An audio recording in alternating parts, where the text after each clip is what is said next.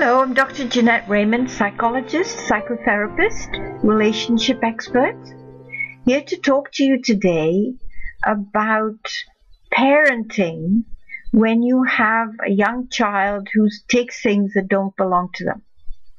It's one of the most difficult experiences when you're a parent and you discover from your child's school that they're taking other children's uh, belongings, um, and you then also find out that maybe they're taking, um, stealing food from the other children. Uh, they're taking their pencils, their toys, their crayons, their iPads, their phones, whatever. And then maybe they're also doing the same at home. Maybe they're taking things out of your purse. Maybe they are taking uh, stuff out of the fridge without you knowing. Maybe they're uh, taking things from the siblings or things out of your pockets. You don't know. But when you find out, it is so alarming and it's so shaming, especially when you find out that your kid's been doing that in school. And all you want to do is to make it stop because you feel the reflection on you that you've been a bad parent, you haven't taught your child right from wrong, that you've done something um, bad in your parenting to make your child do this and you didn't even know, like you beat yourself up and you want to stop it as soon as possible. So you might start punishing your child, um, uh, taking things away from them, depriving them, threatening them, all sorts of things. But you know, when you do that, it doesn't help because you're doing it for you and not for them. You are doing it to make yourself feel better as a parent that you've acted on something that you wish you'd known before. It's kind of like compensatory and that you can tell the school and anyone else that you are taking action and you're being serious. But from the child's point of view, you haven't helped them and they're going to continue to do it and escalate because you're not addressing the issues.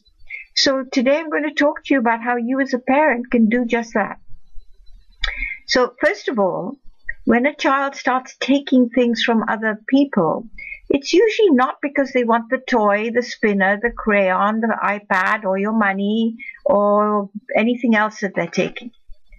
It's usually a sign that they need to give something to themselves to there's a hole there and they need to fill it and it doesn't matter what they fill it with because something's missing in the dialogue at home people are not talking about their feelings and maybe mom and dad are tense and anxious and uncertain and that's coming across to the kids so the kid will usually take things that belong to other people to set off an alarm that you can't ignore, like a fire alarm. So you have to attend to it. And in that place, mom and dad come together. And that's usually in my 20 years of working with kids, that's what I find. It brings the parents together. They're more um, concerned about the child than they are um, talking to each other in ways that are not very nice that make the child feel unsettled. Because usually the child will say, well, I don't know if my parents are even going to be here tomorrow. Maybe one will get sick and die. The, Someone told, a child told me the other night. I don't know if uh, daddy will leave. Uh, daddy drinks. Mommy gets very upset. And uh, she drives, uh, uh, and it makes me scared. So all this is going on, and or you may know that it affects your child, but you're not actually creating a, an, an environment where you can talk about what's going on in a reasonable way that makes your child feel okay, things are not okay, but they're talking about it, they're dealing with it, it's not under the rug. I don't have to imagine all these horrible stories of my mom dying or my dad leaving or my something happening to my brother uh, because that's why they have to take something. It makes them feel in control. They're doing something. They're putting something inside them because they feel that anxiety. They need to comfort themselves. And it's usually from the outside because there's nothing inside.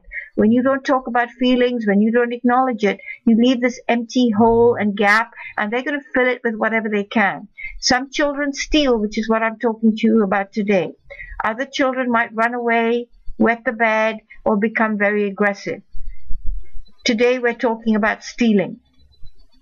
So the thing to do is to start talking as parents about your own feelings in the normal course of the day's events and share with your kids so that they can start sharing.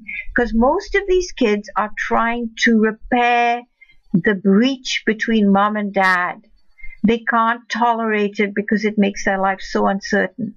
So one way they do it is to glue mom and dad together by taking things that belong to other people because it's pretty serious, especially if it happens in school.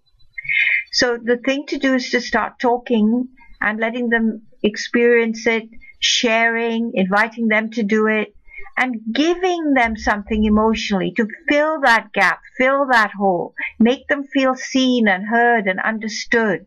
Even though things might not be okay between you and mom, that's okay. That happens in every marriage.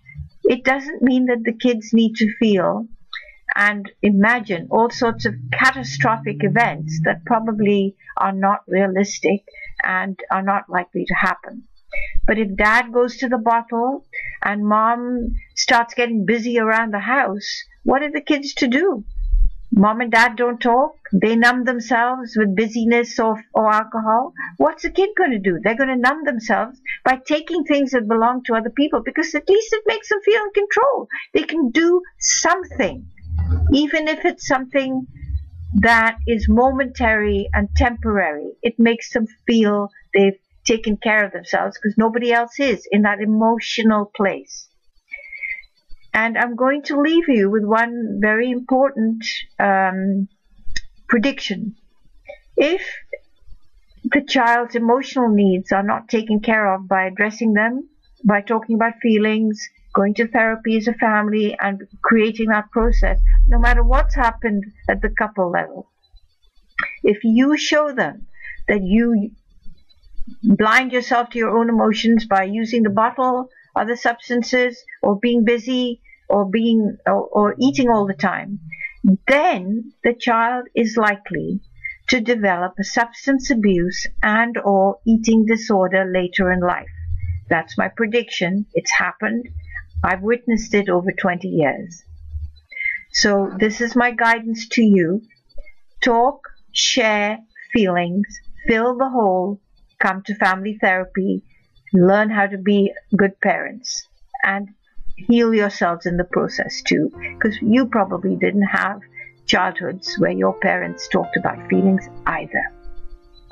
Be happy to have your questions. Look forward to hearing about your experiences and see you next time.